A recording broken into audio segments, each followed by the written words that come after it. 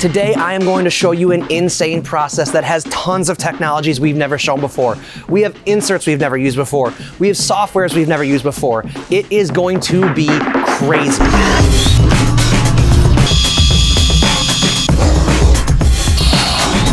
Come here, come here, come here. Now, we ran this part out of brass so you could watch it be machined. The actual part's machined out of aluminum, and we had to use coolant for that, which looks like this. You can't see anything at all. We tried to run one without coolant, and this is what happened. Not great at all. Now, the part we're making today on our Tornos GT32 is a part for an aftermarket fuel injection system.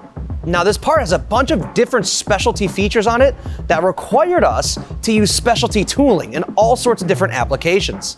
So there are three big things that, my fingers are so weird. I can't use my hands, dude. Like how, there are three main things we're gonna talk about in this video. Number one is gonna be our PCD inserts that we're using. They worked phenomenally well. Number two is gonna be all the different crazy holders I have in this machine. Really, that's insane. And the last thing is gonna be the new software we're finally showcasing on this channel that programmed this part. I learned it in a weekend. It is super simple. I love it. First up, PCD inserts. Let's check this out. All right, so this PCD insert is insane. But before I go into that, make sure you subscribe. We're almost at a million subscribers and every one of your subscriptions helps. We really appreciate it. So enough of that, check this insert out. Horn actually put a chip breaker somehow in the tip of this PCD insert. I don't know how they did it, but I was really impressed. On the ID and the OD of this part, I threw these inserts in there and got a perfect micro finish. So for the small tools game, PCD inserts from Horn worked really, really well. I gotta hand it to them. And now on to the next thing I wanna talk about is the holders. This system from Göltenbodt, just being able to throw these tools in like this is really, really easy. I was impressed by how I was able just to put my tools in here. I added one cross hole to them and all the coolant comes through the front of the tools. I don't have to have any lines in here or anything.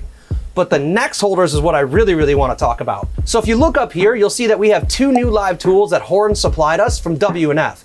One of them is a speeder. So I had to make a really deep, precise pocket with a small end mill. And the issue with small tools is, is your RPM, your surface footage. But with this three to one speeder from W&F, I was able to go 18,000 RPM as I spiraled down that square pocket which made it so I can go a lot faster. So what does it mean exactly when I say a three to one holder? So it means for every regular revolution of a live tool holder, this holder will spin three times. And that is what allows you to achieve higher RPMs. I'm going 50 inches a minute in the footage you see there. Another thing I like about them is how they're quick change. I'll say this a million times on this channel. Anything in a Swiss machine that makes it so I don't have to wrench inside here and bust my knuckles is gonna get two thumbs up from Donnie.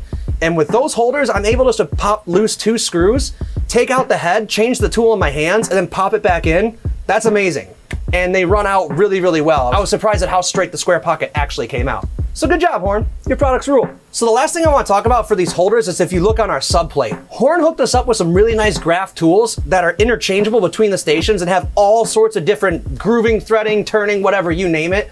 So it's really nice to be able to have such a compact system in here to allow the maximum amount of tools on my subplate. And yeah, that's it for the holders. Now, for like the grand thing I want to show you in this video that I am the most impressed with is the software I use to program this part. So let's go to my computer. I gotta show you how this works.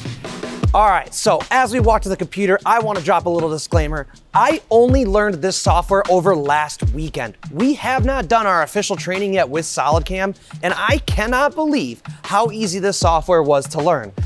Everything I'm about to show you is impressive, but the fact that I could teach myself this software as quick as I did is by far the most impressive part. So let's dive into it. All right, first things first, take a look at this. SolidCam is inside of SolidWorks. So normally with CAM softwares, you need another CAD software to draw your parts and then your CAM software programs it. Well, with SolidCam being inside SolidWorks, that completely alleviates that problem. You now have the best CAM software integrated into your CAD software. You literally can't get any better than that. So check this out. We'll go over here and we'll open up our part. So you'll see right here that SolidCam is actually integrated into SolidWorks. So as you can see our parts right here, and you can see my machining tree over here, and this is where all my operations are for SolidCam.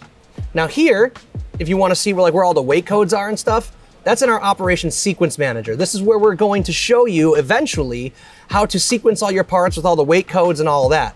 It's important to note here that the whole program works. I see a lot of people out there using CAM softwares and cutting and pasting their code to make it work. This posts a good program. All you should have to do is enter your program in, and that's it. You shouldn't have to do anything more than that. To check out our simulation, one thing that I think is kind of cool about this is I click setup, hit V, and you'll get this simulation menu.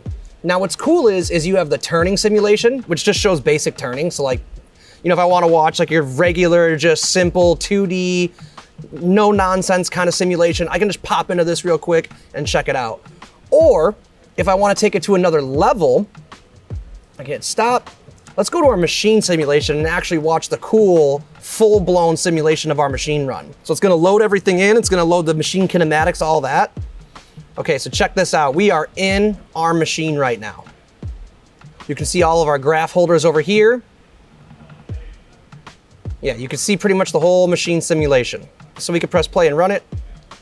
So you can actually see both heads cutting at the same time. But yeah, we got our milling going on down here, just like in the machine. We have our turning going on over here. Speed that up so you can get to the milling. You can see the milling just like we did in the machine. Here's our pocketing. And some of the cool things about SolidCam 2 I'm gonna finish up on here is how easy the machine is to set up. Other softwares can be a real pain for this. So let's check this out. We have our toolkit here. Now let's say I wanna view a tool, right? So I'm gonna see like this tool right here, all right? I can actually go over here and view what it looks like in the machine. So right here, I can actually see what this tool looks like in the machine and it shows me the fixturing points, all that. But like, let's say I wanna make sure, you know, this tool might not be sticking out far enough, right? There might be something I don't like about it. Well, I can actually go in right here and roll my mouse and move the tool in and out to get it exactly where I want. I don't have to set up my tool, pop into my simulation, see where it is, pop back into my tool menu over and over and over. I can just do this right out of the gate. It's the setting up of your machine in SolidCam is light years faster than anything I've ever seen.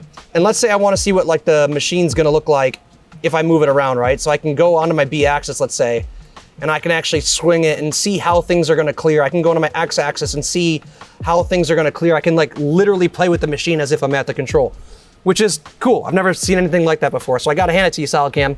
Your products rule. Oh, look at that. And you can see the Tornos fixture points. But if I go too far, oh no, it's killing the other spindle Stop. Oh my God, oh my God. So that's a really brief overview of SolidCam. Again, I can't believe it was so simple that I could learn it in a weekend and program this for this video that quickly. I really got to hand it to him. It's impressive. So stay tuned because we're to be showing you a lot more about this software. There are a million more impressive things I really can't wait to bring to you in future videos. So that is it for SolidCam in this video. That's it for our video today, guys. I hope you enjoyed it. Just want to let you know, and I didn't tell you this, uh, we are working on the Swiss Academy right now, so stay tuned because this year we are going to be showing you guys everything on a Swiss machine.